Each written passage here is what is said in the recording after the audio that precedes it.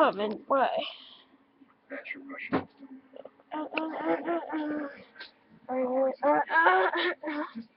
Be yourself.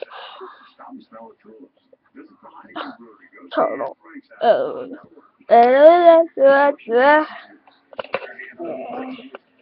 Welcome to laptop.